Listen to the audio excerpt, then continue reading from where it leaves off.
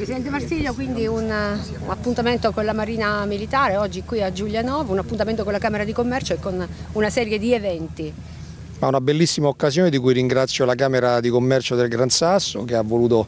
organizzare questo, questo evento, questa presenza della Marina in un porto importante come quello di Giulianova è anche un segnale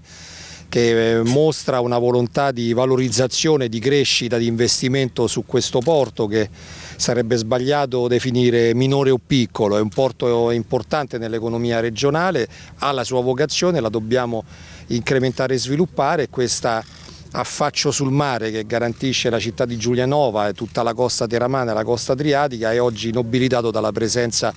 della nostra Marina Militare, quindi una bellissima occasione, speriamo che possa aiutare a far eh, crescere l'interesse per la nostra costa e per eh, incrementare anche la cultura del mare di cui abbiamo bisogno. Presidente, questa è una nave tra l'altro che fa un lavoro molto importante per i fondali. Sì, fa un lavoro molto importante perché nasce militarmente per eh, diciamo, trovare le mine e come abbiamo scoperto curiosando e chiedendo al comandante ce ne sono ancora, ancora dalla fine della guerra, ancora residuati bellici che compromettono la sicurezza della navigazione, ma poi sono attrezzate in maniera tale da verificare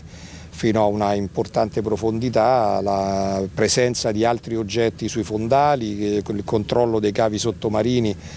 eh, quindi mh, è un lavoro costante che viene fatto, poco conosciuto, è stata anche l'occasione per conoscerlo e permettere ai nostri, ai nostri, marinai di far conoscere che cosa fanno ogni giorno su queste, su queste navi e quale servizio rendono alla comunità nazionale.